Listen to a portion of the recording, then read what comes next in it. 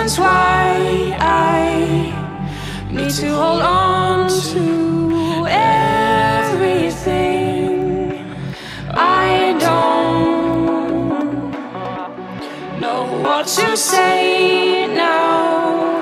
I need to hold on to.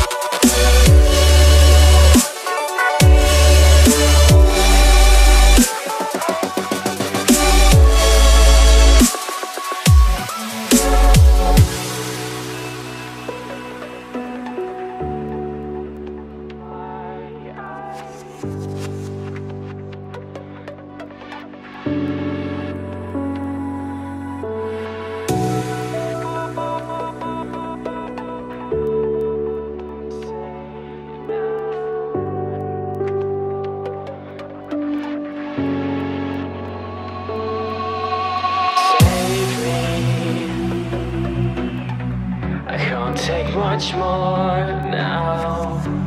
I can hold on to everything I don't know what to say.